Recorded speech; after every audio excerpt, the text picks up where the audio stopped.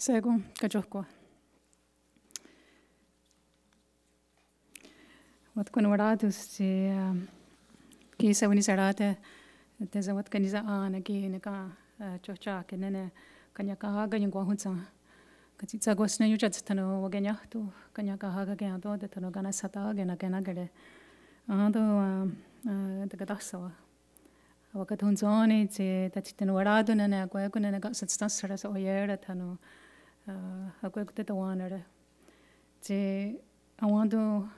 oya sa wani sara ta yung kwa na gade ne ka ye te so I, um, it's important for me as a Kanien'kehá:ka person, a Turtle Clan, to begin in my language, especially on our territory. And uh, I appreciate um, the invitation to come here and speak with you today. Uh, the history of Canada is really not well known. It's still not being told. In fact, I think um, when I was going to high school in the 70s, um, history is still being taught the same way. And as Canada and Montreal mark significant anniversaries in their existence, um, the resistance to talk about the truth is still very much alive. There is not much political will other than the token words that are spoken by the Prime Minister of Canada, who claimed that his most important relationship with, was with Indigenous peoples and who also claimed his representatives at the UN Permanent Forum on Indigenous Issues um, that they would implement the UN Declaration on the Rights of Indigenous Peoples. And so the doctrine of discovery and the Papal Bulls remains uh, the reason why Canada has declared sovereignty on unceded Indigenous peoples' lands. And as we see a, from an illustration by um, Bartolomé de las Casas, uh, the Europeans who came over with Columbus and, and those who uh, ensued killed indigenous people, sometimes for sport, sometimes ate indigenous people, until uh, de las Casas pleaded uh, with his higher ups that these are people, these are human beings, and that we should not be eating them. And Terra nullius, um, goes back to the fact that, of course, the indigenous people were not Christians. Of course, they couldn't be. They weren't. And, um, and it causes a lot of uh, friction amongst the people who, do, who are Christian of our, of our people, indigenous people, and is what some of the reasons why colonization has been so successful. As Frantz Fanon has said, colonization is violent and its, violence is evident in how indigenous people have been treated throughout the, these many centuries by the colonizers. And in fact, uh, dysfunctional and the denial and oppression of indigenous people's rights has become the norm. We know that there are romanticized versions of indigenous people, and when you think about indigenous people throughout history, you think of the men with their headdress or bare chested. You never think of the women and the roles that the women have played throughout their centuries of oppression and how they are the backbone of the nations, keeping with them the languages, the culture, those values, those ways, those artistic art forms that have survived through centuries of oppression, and who have, um, you know, imagine your child being ripped from your bosom to attend a school to learn a language that you do not know, and nor does your child know. And often those children were never allowed and were punished, in fact, for speaking their language. I have heard horror stories of needles being pushed into the children's tongues, hands held over hot flames, and many other brutal beatings of indigenous children. Children the, in a government state run institution who were kidnapped, sexually and physically abused. And of course, I, I, was looking on the internet for many different kinds of historical uh, posters. I, I, thought this one would be interesting to take a look at. And uh, one of my heroes is, unfortunately, this is not him. One of my one of my heroes is um, Geronimo, Sitting Bull and really unknown woman, Jigonsaseh.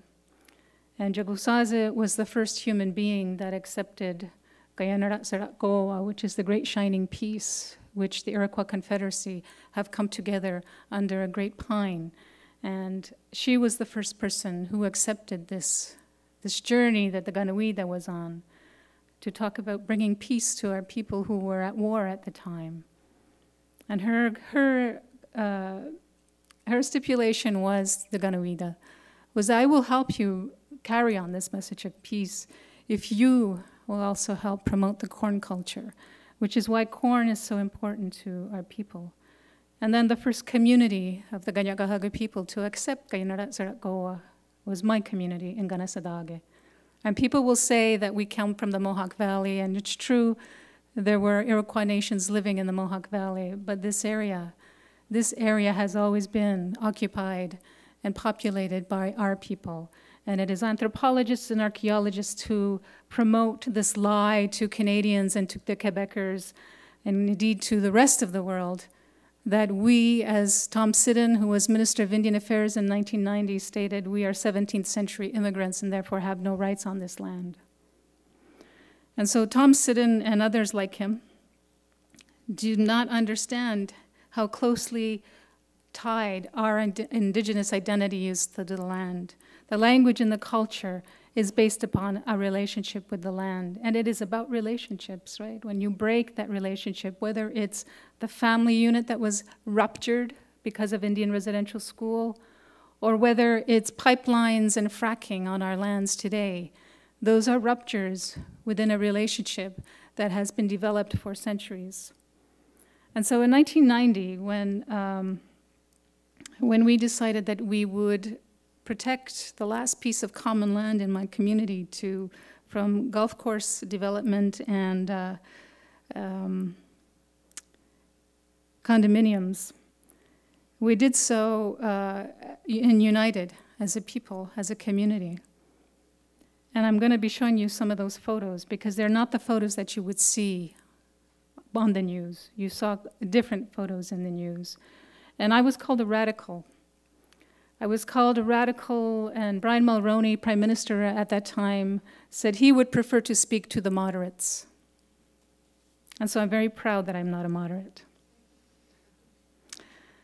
And it's interesting in, in, in English, when you talk about a militant, it's really very different than a mili militant in French. And um, so there you go with the two different kinds of versions how truth is told. Um, another one of my heroes is Chief Dan George, who, uh, you know, when I was growing up, I didn't see many, many people who were indigenous. Uh, I grew up, uh, I started my school in uh, two day schools. Um, and of course, my language was not taught. I was taught uh, my language by my parents. Um, my father was trilingual, perfectly trilingual. He could go in and out of French, English, and Kanien'kehá:ka very easily. And we were not told about the kinds of things that were done to our people.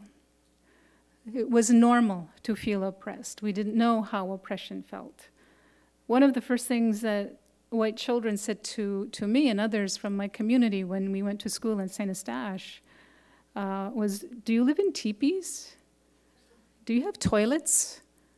Do you have running water? And, you know, I went to school um, in grade seven, I, I mean, at the age of seven, I went to school in St. Eustache. And this would be around 1966. So um, it was really weird for me to hear this. Um, but in the telling of our stories, uh, as, we, as we got older, we saw some of the most sacred things of this planet. We heard of these horrific stories of bison being killed, and they knew that the bison, the buffalo, were part of the diet for people on the plains, and they just killed them for sport. They just killed them. And so there is, there is the many skulls of the beautiful buffalo. And in our language, we say Tiskeriago. I'm not sure what the Sioux call it, but um, this is part of, part of the history. And so when we started our, our barricade of a dirt road, it wasn't a highway, we started off with a fishing shack, the fishing shacks that you see nowadays that are on the, in the, in the rivers. And um, the two posts that you see, those two tiny posts, uh, I'm as old as the golf course, or the golf, golf, golf course in Oka is as old as I am. In 1959, when they built it, they put these two little posts up to say, because they were disrupting the road that would go into the village, and said that your people can pass through these two posts. We give you permission to go through. And this was a part of the area in our community where berries were picked, medicines were picked, and cattle, local cattle were picked. And if you look at the other picture, this is not a road that you would go on normally, especially if you have a nice car. You would not go on that road.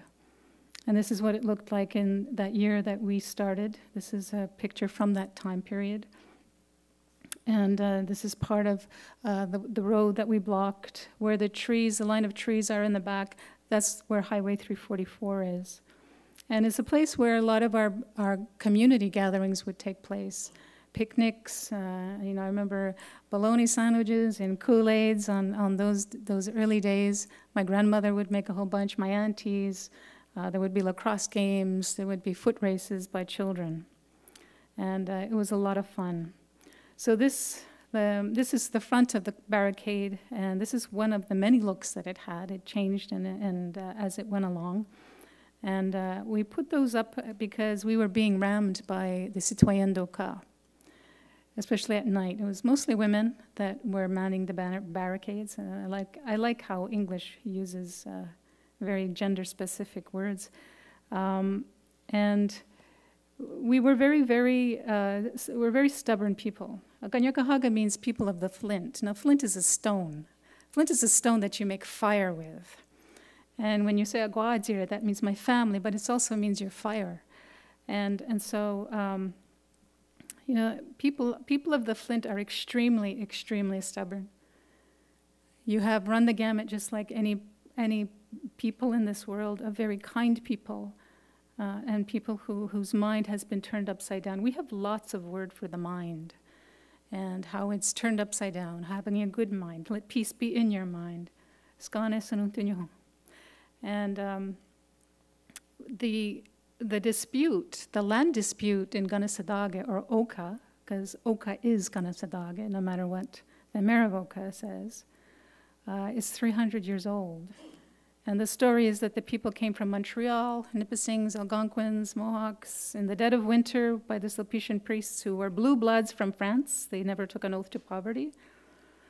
Uh, they were able to pay for their own army, and they came in the dead of winter and to the community, and the community uh, didn't want, did not want to accept them at first. And they said, well, if you're going to cut a tree, you have to tell us where. And what there was an agreement signed, and long story short, the Sulpicians turned that agreement around so that when a Mohawk cut a tree, they were jailed. And this dispute is still going on. The government today, and this is, this is not a reserve in the true sense of the word, which means the government has been able to chip away at our community and um, take away land that has been traditionally occupied and used by the Kanien'kehá:ka people. And they will, they will say that we cannot tell the province what to do, and we cannot tell the municipality of Oka to do what to do. And so for, for now, what we're stuck with this year, which could erupt into another um, uncomfortable situation, is 400 homes are slated to be built in what is known as Oka, what is Kanehsatà:ke. And while many people deny that there was a genocide in Canada, they, they like to call it something a little bit more palatable to the Canadian public uh, genocide.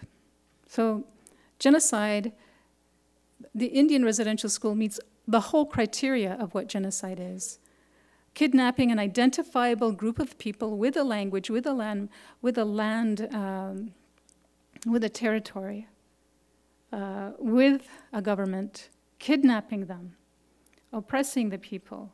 And in genocide, you don't necessarily have to eliminate, extinct those people, right?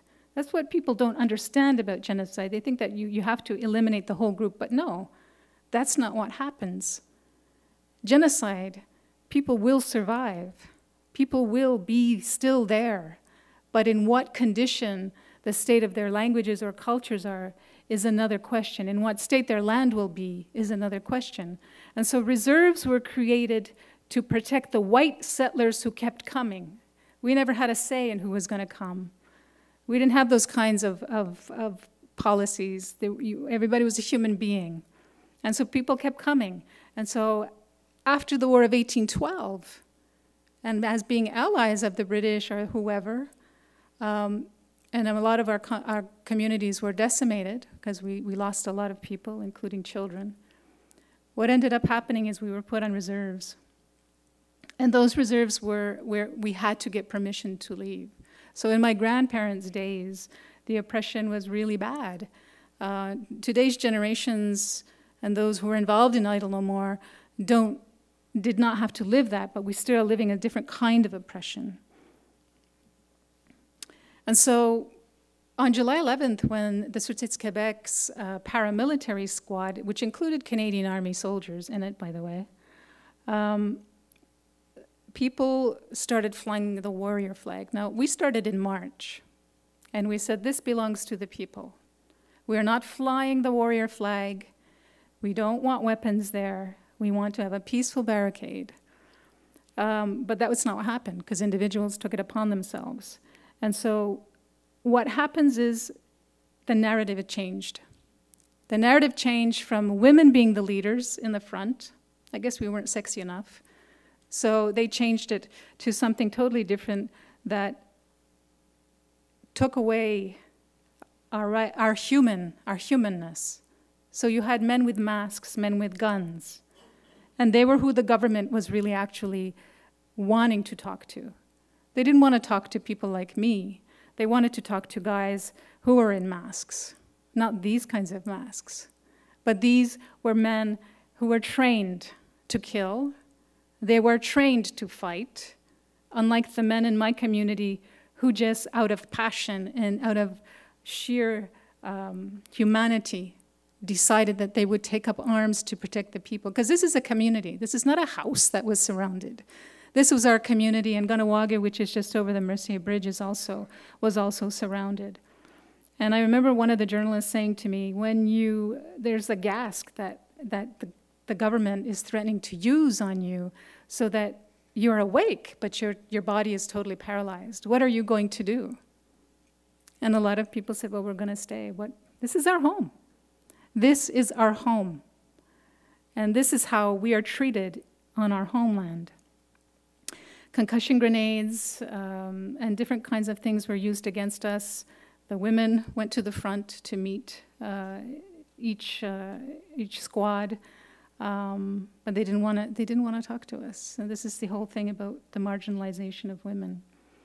And so the terrorists, for my, for in my perspective, was the government of Canada, the government of Quebec, the Sûreté Quebec, who now, as we know, uh, are abusing women in Val d'Or and are getting away with it. Uh, Human Rights Watch uh, put out a report a couple of years ago saying the RCMP are abusing the women uh, in British Columbia, but it's okay because it's indigenous women, right?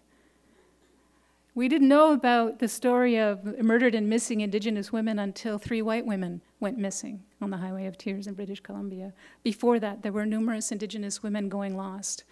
And the police's, uh, the police attitude was, well, they're, they're probably gone to party, right? Because you guys are a bunch of drunks and, Indi- and, and, you know, you like drugs too, so what are we going to do? So the use of force was justified through images. And this is the whole thing about propaganda, right? Uh, the famous, the famous uh, photograph that went around the world, both of these actually went around the world, women holding weapons, which was on a day uh, when we thought the army was going to move in on us in early August. And then in September, the two, the standoff. Um, I never held a weapon, and I came almost as close to a Canadian soldier. Many other women never held weapons, but it didn't matter because the Canadian government said that we were terrorists, that we were the terrorists, even though they colluded to defraud us from our lands and our territories for centuries. And so the racist doctrines continue. There has been many, uh, many millions of dollars spent on different kinds of commissions in Canada. Uh, the Standing Committee on uh, the Oka Crisis in 1991, um, which evolved into the Royal Commission on Aboriginal Peoples, in which evolved and we heard about the testimonials of indigenous people, indigenous survivors of Indian residential school, which evolved into the court ordered apology. This was not out of the good gracious, uh, graciousness of Stephen Harper's heart. This was a legal settlement for heinous acts committed by people who were supposed to take care of children. And from there, from the Indian Residential School apology came compensation for the survivors. And, these are, and there are hundreds and thousands of people like my, my grandmother who went to Shingwauk Residential School, who never, who passed away in 65, who never got to hear that apology, never got to feel validated as a child for the abuses that they suffered. I remember going over to her house, um, and like I said, I, I was five years old when she died. But I remember going over to her house, and I don't know how many of you would have the same experience. We would have, uh, sometimes for uh, a treat, um, bread with butter and brown sugar, um, and different little, little things like that, and Crisco on a cracker. Because in residential school, they loaded them up on fat. They loaded them up on lard because they were malnourished. And so when they came home, they continued this kind of diet. And so this is the kinds of stories that we're seeing that we are being used, we are being commodified, and continue to be commodified. Because there still exists a huge Aboriginal industry out there that does not benefit the communities. In this year's budget that was announced, millions and millions of dollars for Indigenous people. But how many of you know that about 61% of that money that's supposed to be targeted for Indigenous peoples and the so called reconciliation actually goes to the bureaucracy of the Government of Canada. So every province and every territory has a regional office of Indian and Northern Affairs Canada. And then you have the federal government, Indian and Northern Affairs Canada, and their branches of health, education, social services, and they employ people and so there's over like 450 people in Justice Canada alone working against Indigenous people's human rights. Cindy Blackstock has had to endure years and years of frustration from the government of Canada, this government who claims to be in this era of reconciliation, but is still denying Indigenous children's the right and support that other Canadian children or other children in Canada have when their families are in crisis. They're still fighting that. And so, what is told to you is really nice, flowery speeches, because at the end of the day, nobody really, really is interested in learning what is actually going on on the reserves and in Indigenous communities. They talk about the urban Aboriginal people. There's more people in the urban area than there are on reserves. But anybody can self identify as an Indigenous person. Anybody. So I have, you know, heard people who, from the 1700s, they had a great, great, great, great, great, great, great, great, great, great, great, great grandmother who was Algonquin or Mohawk or something. And they can self identify as an Indigenous person. And in our culture, you're supposed to be contributing back. You know, you're supposed to be giving back to those institutions, and you're supposed to be talking about, you know, upholding and uplifting those institutions. And it's pretty, pretty hard when you're, you're there's a suppression of your rights to self-determination. And our, and, and our version of sovereignty is not necessarily the same of the version of sovereignty that Canada or the United States has.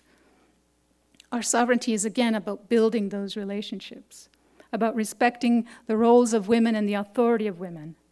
In Iroquois culture, when war is declared, it's declared by the women. The women declare the war, and they have a war chief that works for them. And that war chief is to make sure that everything goes as the women want it to be. And today, with colonialism's impact upon our society, we see that there's an imbalance even in the traditional culture. Because even though we had a residential school apology, even though certain people were compensated, all of our institutions and the pillars of Indigenous identity have been damaged. And it's going to take many generations, not money, but, but goodwill, good faith, to restore those wonderful and, and rich cultures that were vibrant over two, three hundred years ago. It's estimated that after the first century of contact with Europeans, three quarters of the indigenous population were killed. Imagine all the traditional knowledge that we lost. And the words that we have today in our languages have that traditional knowledge there. It's embedded, it's there, it's, it's, it's, for, it's for this, um, this generation to have. How many of you remember seeing the, the, the effigies burnt nightly at Chateauguay? How many, of know, how, how many of you know this story? Put your hand way up. I want to see them. So it looks like less than half. The government, when this was going on, said nothing. They justified it by saying, well, there's inconvenienced motorists. And they're not allowed to use the Mercier Bridge because it might explode. There was dynamite on the bridge. So rather than look at us as human beings, and at this time, at the same time, thousands of human rights are being abused by the Sûreté Québec and the Canadian Army, the most important thing for government of Canada and Quebec was those, the mobs at Chateauguay, because you are their constituents. You vote for them. We don't vote. And the abuses, the human rights abuses, the beatings of the men, the Mohawk men and their allies, remain unanswered to this day. Um, and all of this is about land. All of this is about economics it's always been about economics and enriching the monarchs in Europe, enriching the people uh, who came here and their descendants. And indigenous people have been denied that right to self determination, for our languages to flourish, for us to be able to pick our medicines without fear of contamination. The five First Nations that live around the tar sands have experienced uh, devastating health problems, equated to those who would work with oil on oil rigs. Cancers, the moose they eat, the deer, the fish, and the tailing ponds in which ducks also die, but the tailing ponds will take centuries before those tiny gr granules uh, of bitumen settle to the bottom of a glass. So we, we are in trouble. We're in trouble as a human race. We're in trouble as, um, as a species that, that is kind of like a flea on a dog. That's the best way to, to, to describe us as, as a species because we do not, um, we don't understand that the quality of life is not just about making the most money. A quality of life is also about the air you breathe. It's about having a clean environment. It's also doing, taking what you needed. You know, Bombardier uh, was in the news recently because they gave $30 million of bonuses while taking government subsidies.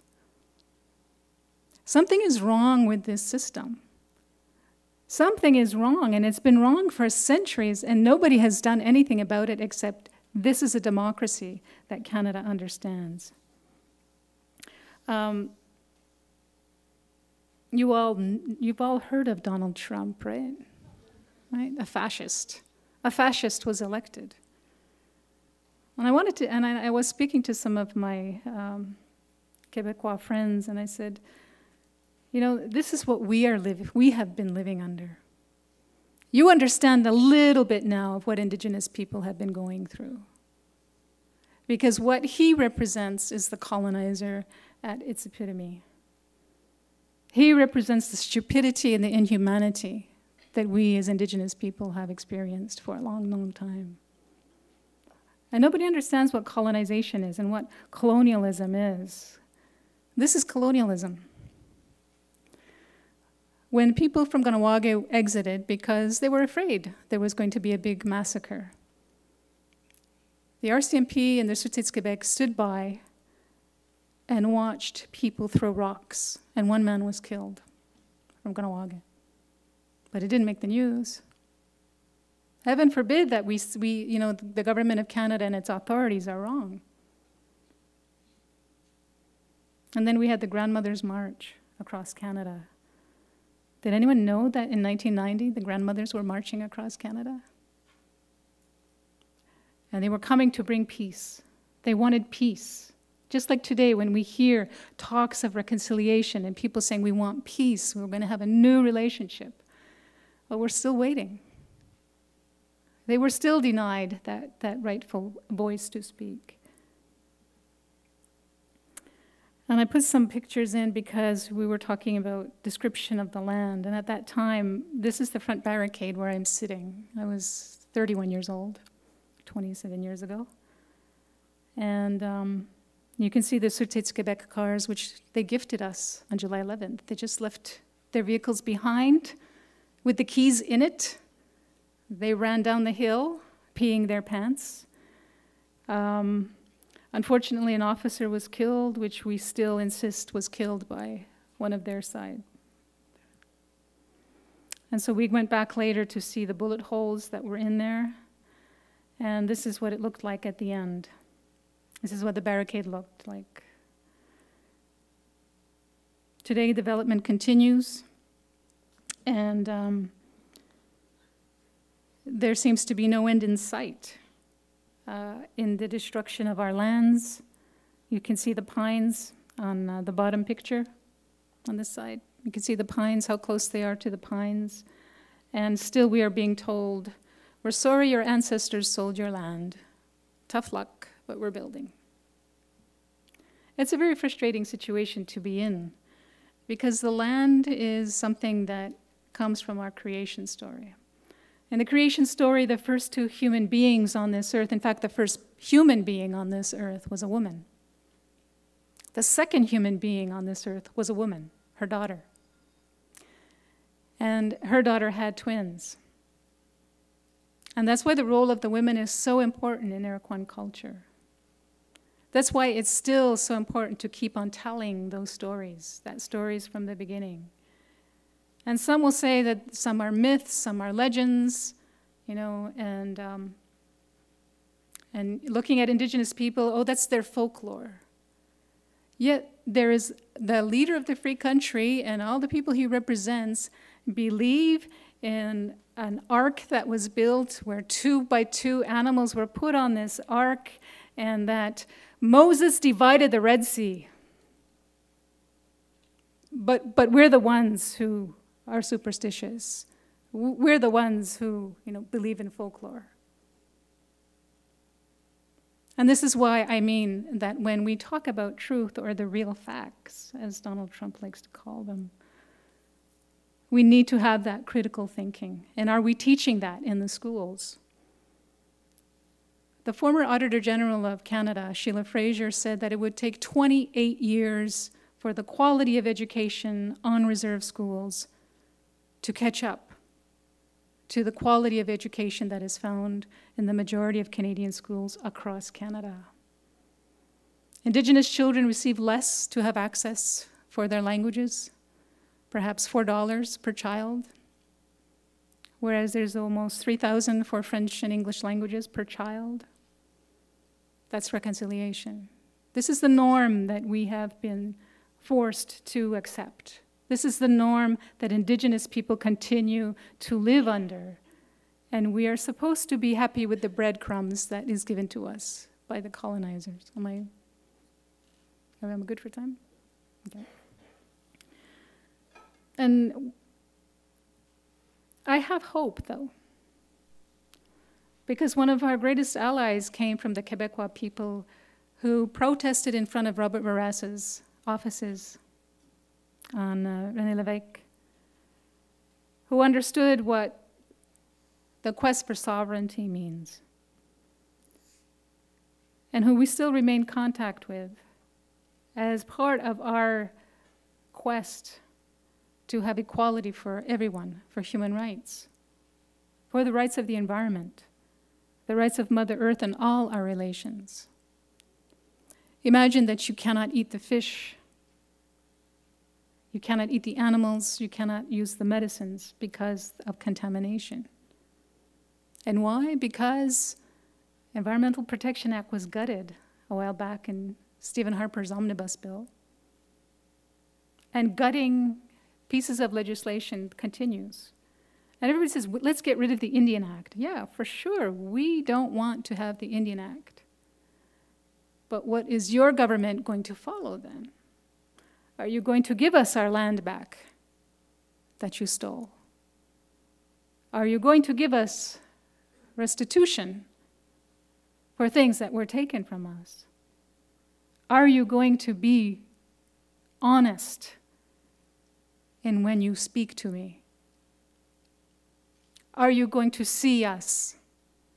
Or do you only want to see the romanticized version of what you think an indigenous person should look like and behave like?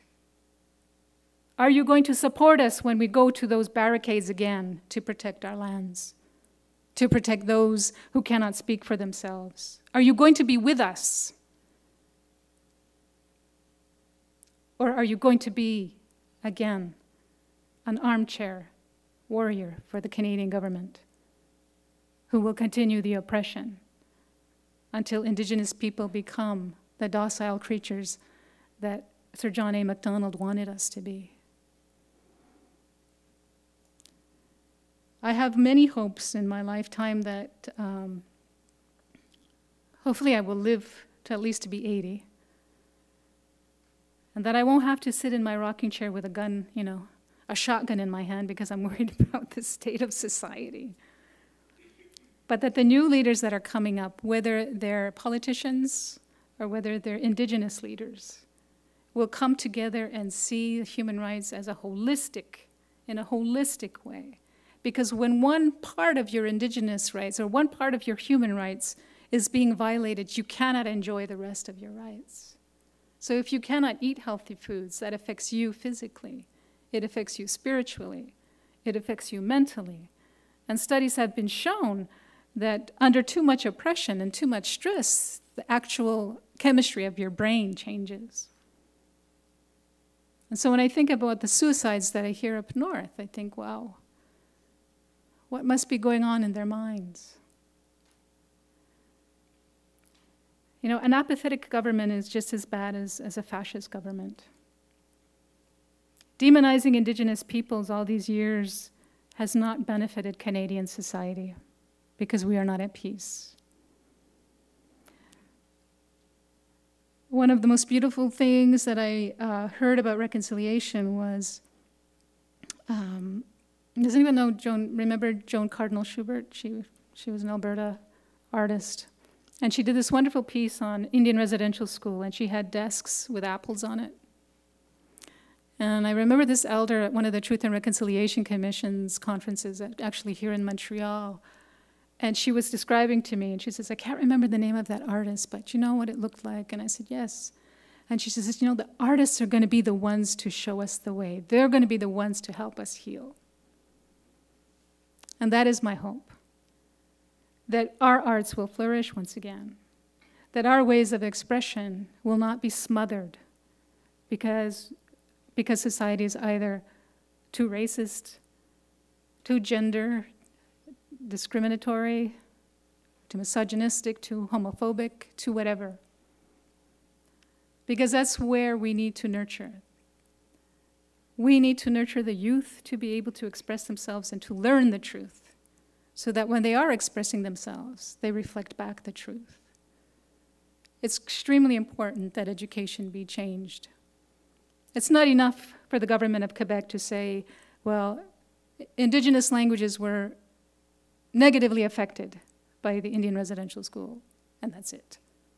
It's irresponsible. And it's another form of fascism as far as I'm concerned. Because if you speak out, if you speak out either in my communities or if you speak out to government, and I've, been, I've attended a lot of National Assembly meetings or parliamentary committees, when you speak out, you make people uncomfortable. And that's okay. It's okay to be uncomfortable. You're a human being. If you're not uncomfortable, then I'd worry about that. I would really, really worry about you. And in 1990, for, during the siege or the crisis, it was the first time Canadians heard an Indigenous person saying, We are not Canadian citizens. And I swear that the journalists who were standing in front of me when I said that almost fell off their feet. What are you talking about? What do you mean you're not Canadian? Of course you're Canadian. Where were you born? Where were you born? like, you know, I was born in a hospital in Montreal, the Royal Victoria. Yeah, but you're, you're born here in Canada. Yes, but we never gave up our citizenship to the Iroquois Confederacy. It's imposed citizenship, just like status is imposed. And so when we talk about reconciliation, we need to acknowledge the fact that we have a right to our own nationality as we choose. We shouldn't have to just live in those tiny postage stamp sized pieces of land that the government supposedly reserved for us to feel that we belong to the land. This is our land too. And we want to be able to, to live in harmony with others. But I can tell you, we cannot do it unless every single person in this room and every single person who lives on this continent gets up and speaks out against the fascism that is occurring in Canada and in the US, against Quebec. Because we can't do it alone. Silence means that you condone that kind of behavior in your politicians. Policies and legislation are supposed to be about helping people. Canada has numerous international human rights instruments that it is obliged to. People try to say that you know, I think there was an article that came out recently that Justin Trudeau said, you know, Indigenous people do not have a right to veto any kind of development. Because before the election, he was against pipelines. And when Donald Trump got in, it was like, oh my God, oh yes, now I have to uh, approve the pipeline, so yes. Indigenous people, you cannot veto development. The Declaration has nothing about veto. It talks about free, prior, and informed consent. And it, if it does serious damages to us and our health and well being, then we have a right to say no. And, and that's, that's what I think is an alternative truth that he's saying to Canadians to again demonize Indigenous people who are against um, the dinosaur like fossil fuel. And we all need we're all reliant on gas and oil. But I, I really want to I really want to emphasize that if we are going to continue to pretend to hold hands, let's at least do it honestly. Let's at least bring about that kind of truth to history and, and not listen to the propaganda. We are not conquered people. We experienced genocide at one of the most heinous levels that was accepted by Canadian society. We are not conquered peoples. I am not a citizen of Canada. But I am a human being. And as Thomas Banyacya said, he was the late Hopi elder who addressed the United Nations many, many times over several decades. And this sort of epitomizes, this quote from him epitomizes the kind of philosophy that many indigenous people have had and have tried to tell the colonizer about. That it's not about power in the sense that you're thinking of, it's not about money, it's not about militarization. It's about the promotion. It's about the, the, the health and welfare of human beings who think, you know, we think that we're the top, but we're not. We are part of it. It's about promotion and the health of the health and well-being of the fish, of the plants, of the four-legged ones, reptiles, of the air we breathe, which is alive the waters that we drink and swim and bathe in, and bathe your children in. It's about the rights of them as well, and the birds, This is what true indigenous philosophy is about. Not this band council system that was imposed upon our, on our people, which has been to the benefit of the Canadian government.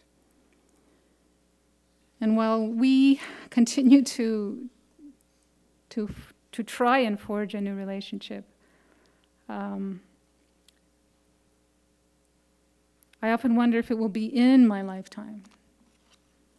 I often wonder what, what, what does it take? We're all very, very good at crisis, right? A hurricane devastates a community. There's famine in a part of the world. Someone has taken over the parliament. People are shot, terrorists taking the lives of people. We are all very good to think about those things and to try and act in our own way. And that's all I ask is to try and act in whatever way you are comfortable with to make positive change, to bring about the kinds of kinds of ways where mass violence is a, is a thing of the past. Perhaps in museums we'll see those, but that is a thing of the past. And there is something from uh, the UN that talks about climate change. And climate change, of course, at least in my mind, is extremely real because I can see the changes when we plant. I can see the changes in the maple, the wahta. We call it wahta. He's the leader of the trees. That we should be giving a choice to this generation of how they want to see future generations be sustained. Because those future generations have nothing to do with the mistakes that we are making today. They, need a, they should be allowed the chance to benefit from swimming in the lakes, from eating the kinds of food that makes us healthy, and that we should be also talking about the people who are most vulnerable in our society. And that the most people who are vulnerable are our children. People talk about indigenous women being vulnerable, and yes, we are. But the most vulnerable ones are the children.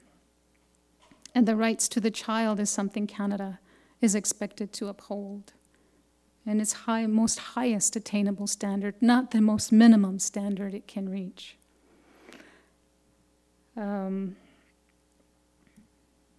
I'm not good with Max here, but um, if we're going to if we're going to talk about violence, if we're going to talk about changes, um, we need only look at the land that surrounds us to see how much it's crying out for our help. We are entitled to the most beautiful world that we can possibly imagine, not what some corporation thinks we can possibly imagine, not some promises, some empty promises from politicians. But envisioning the future is part of our ways of doing things, thinking for seven generations, which I've heard so much now that it's become a cliche but to envision a future where the truth is told, where the truth is part of who you are as an identity of people. Because this year, I am not celebrating Canada 150, I'm not celebrating Montreal 375. I'm celebrating the fact that we're still here as Indigenous people, as Onkwehonwe, and that um, I'm still, I'm still invited to these kinds of talks, in spite of how I talk. Uh, it's a great pleasure, it's a great honor. Thank you, Francois, uh, for uh, inviting me. Uh, thank you to, to this museum for, uh, for its generous amount of time that is, is given to me and all, the, all of you who are here, hopefully to envision a better future, a beautiful future that we can go ahead together and work and, um, and be part of. So, Nyokoa Tanikawanake.